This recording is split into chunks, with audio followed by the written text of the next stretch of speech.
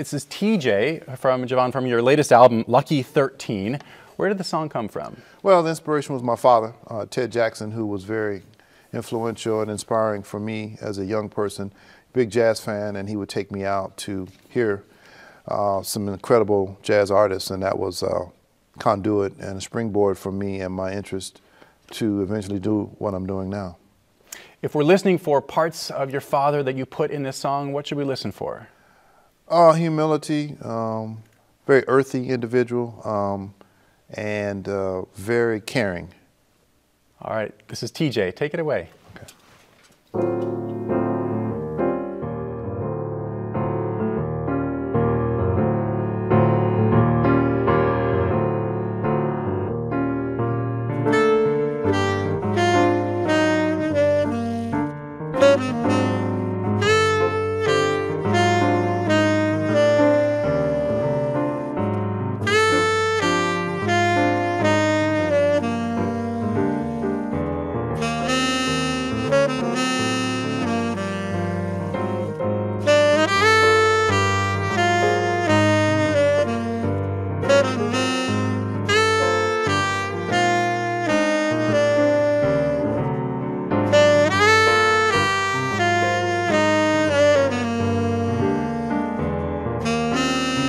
Música